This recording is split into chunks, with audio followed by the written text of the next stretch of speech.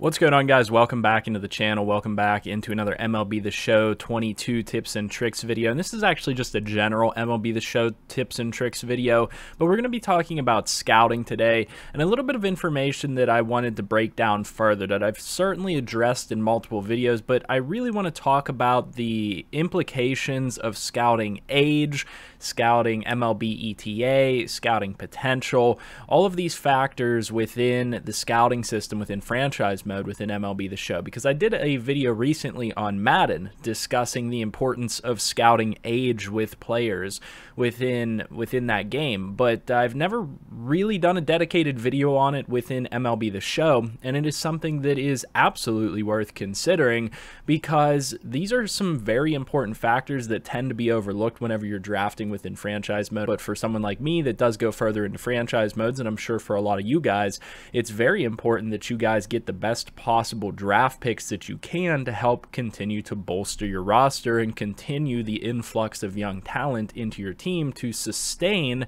your success over a long period of time. Therefore, we're going to go ahead and take a look at some of the draft class that I currently have within my Pirates franchise right now, and we're going to compare some players, and we're going to probably sim to the draft and, and compare some of the actual ratings that you get off of these players, and talk a little bit about the different differences between certain ages and things like that because we've talked about how important age is within this game. You can see just on the first page of players here, which are all potentially 80 potential players, uh, there's ranges in age from 18 all the way up to 22 years old. That's a four year difference, and that can mean a lot of difference in development, and that also can mean a big difference in how high of an overall these players can actually get to. First and foremost, whenever you actually get to the draft or when you're scouting within MLB The Show, you're going to end up with a lot of players scouted that potentially have that good development that you want them to have, and they might have a good overall, and they might be a certain age. But what we want to really compare here, and one of the things that sort of lines up but can vary is going to be age and MLB ETA. These two things are not necessarily linked with each other because as you can see right here, we have a fully scouted 22 year old starting pitcher who doesn't have an ETA till 2027 plus. But here we have a younger player, 20 years old, and he's fully scouted starting pitcher, same position, and his ETA is 2024. So that presents a difference between their actual overall whenever they're going to be drafted, uh, and that's really what it comes down to. So MLB ETA and overall are essentially going to be directly tied to each other. So if this player's overall is coming in at around a 70 or above even, we know that this player is going to be pretty much MLB ready in the next season or very, very soon. And that's why he's getting this 2024 ETA. So your overall and your MLB ETA are going to be directly linked with each other. So we also want to consider that in coordination with the player's age. So think about about this for a second. If you have a 20 year old player that has that 70 overall, 80 potential, he's a 2024 ETA, are you going to want to draft that player when compared with the same exact statistics for a player? Let's say, for example, this player up here, this relief pitcher, was a 2024 ETA. We know his potential is 80. Let's say we had him fully scouted and we know his overall is a 70 as well. He's 18 years old. Which player are you, are you going to want to draft? So we have to consider those two things in tandem with each other. Now, they're clearly a different position, but let's say all factors are the same. Both starting pitchers, for example, both we know have the 2024 ETA, everything else is held the same. You're going to want to draft the younger player, and that's just simply because you're going to have more developmental years for that player, and you're going to have more room for them to reach that max overall within the game. So age becomes one of, if not the most important factors within drafting within the game, and that's pretty much true for any sports game and any sport in real life. Teams are always going to be looking to strike the balance between the youngest player with the highest upside and the highest talent. A lot of teams think that they can take younger players and mold them even further. They, they think they can take certain skill sets and mold them to what they need them to be, but nonetheless, you get more years with a player if they're younger. You got to think about it this way, so some of these guys that are 22 years old, and I know that this isn't necessarily how it works within the game, but some of these guys that are 21, 22 years old, they're they've still been playing. They've been playing for a couple of extra years, and so there's more wear and tear on their bodies, and that counts for pretty much any sport. Now we certainly have to consider many more factors beyond that though. There's all of these factors working in tandem here for us to decide who we're going to draft. So let's take a look at a couple of quick examples here. Starting pitchers, right now we have three starting pitchers scouted, and they're different ages, different MLB Different potentials, all that stuff. So we're not just naturally going to pick the younger player. We know that all three of these players are scouted with 100% accuracy. We know that they all have potential uh, development that is in the highest category here. They're all scored, scoring in that 80 bracket, which is going to give them somewhere in that B to A range. We know that those factors are the same, but we know that their ages are different. So we're not just naturally going to draft the 19 year old player. We also have to consider the fact that Cameron Castilla has a natural overall that's going to be higher to start off with. So there's a certain trade off here. Moving on to the closing pitcher position, we actually have quite a few of these guys scouted, and this might give us a good representation of what not to do whenever drafting players. And that is one of the players identified here is a 2027 plus ETA. He's 80 potential and only 60 overall on our scouting, Garrett White here, but he's 23 years old. This is one of the older players that we've seen in this draft class. So we're talking about a player that is very low overall, that is going to take quite a while to get up to a serviceable MLB level for us and we're looking at a player that's already 23 years old. So let's say at a 60 overall, this player hopefully has a potential and hopefully develops at about five overall points per year if he even comes in at a 60 overall. That means in two years, he'll be 25 years old and then he'll be a 70. Two years beyond that, so four years, he'll be 27 years old and he'll finally be hitting an 80. He'll be pretty much at the end of his development phase and he'll have only reached an 80 overall. So age is something you definitely need to look at at the it's why it's one of the first things that shows up here on the uh, on the scouting tab is because the most important things that you're looking at are all going to be right here on this screen and they're almost in order. You're looking at age accuracy of your scouting MLB ETA potential and overall. So like I said Garrett White here might be a player that some people choose to draft simply because of his you know projected 80 overall uh, but ultimately he's 23 years old and you're going to be risking not even really having an opportunity to utilize this player because by the time he actually reaches a decent overall, he will be 27, 28, maybe even 29 years old. That's considering if he does well every single year and steadily progresses. There's the chance here that this guy's 80 potential is a low B, and there's the potential that he doesn't even do well in the minor league system and he never sees your major league team because of the fact that you drafted a player that's already at the age of 23. So we're going to take a look at a draft real quick. I've simulated up to the draft. Hopefully my team did a half decent job of scouting players for the rest of that month that we had. We're going to be sitting at pick 15.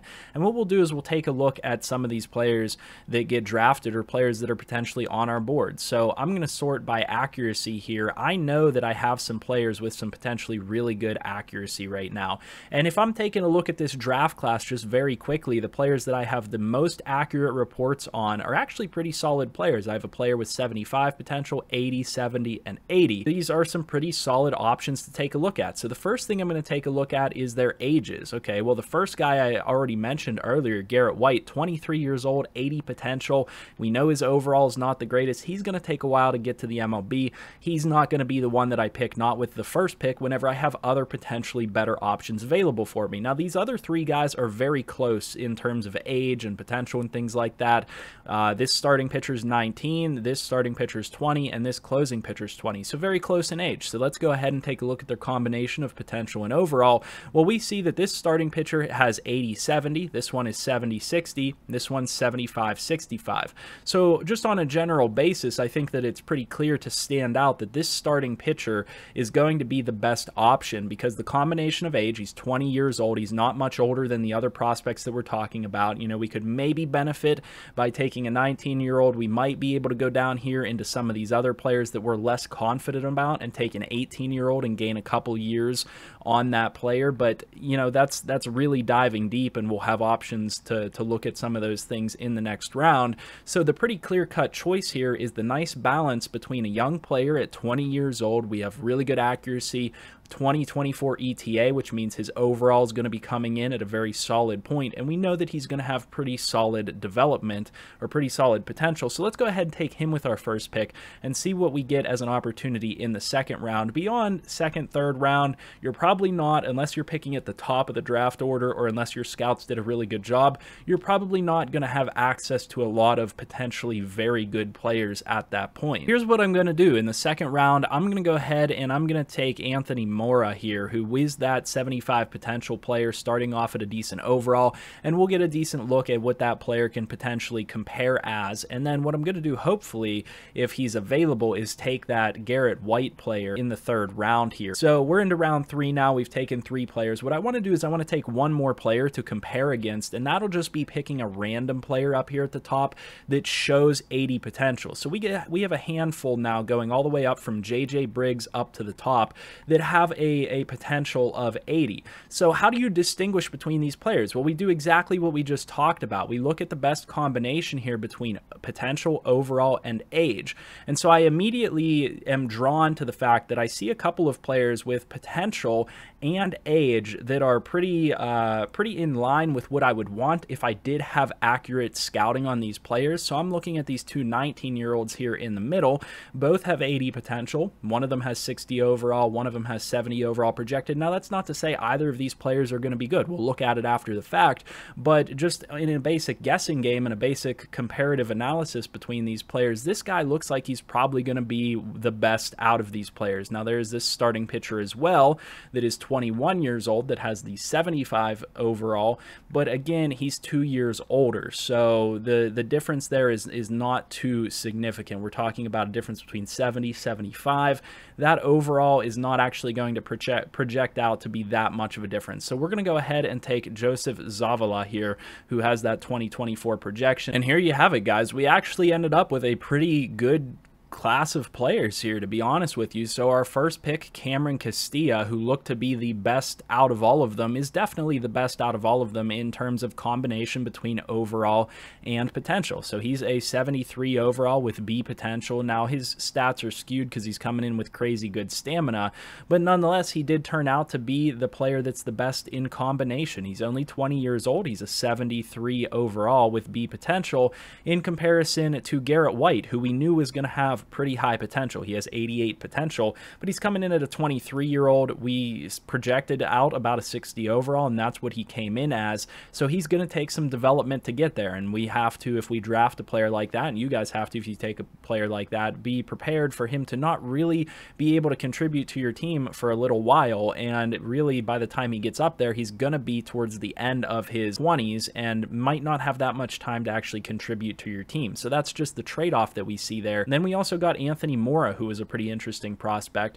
uh, who we saw that was 20 years old. He had a slightly higher overall, pretty good potential. So, you know, the strategy of taking a look at the combination of factors in the way that I've told you guys to today resulted in us getting two really good first picks. And then that third guy ended up falling to us in the third round anyway. And he looks like he may end up being a pretty good pick for us in the end if he can have some solid years in the minors and really develop in a positive way. Finally, the one that we just threw a dart at the dartboard was actually a pretty legitimate selection, and he turned out to have 82 potential at 19 years old and a 61 overall. He might be one of the better picks that we had here. Now, his potential only 82, so it's not on the super high end, but there's no way to really know that.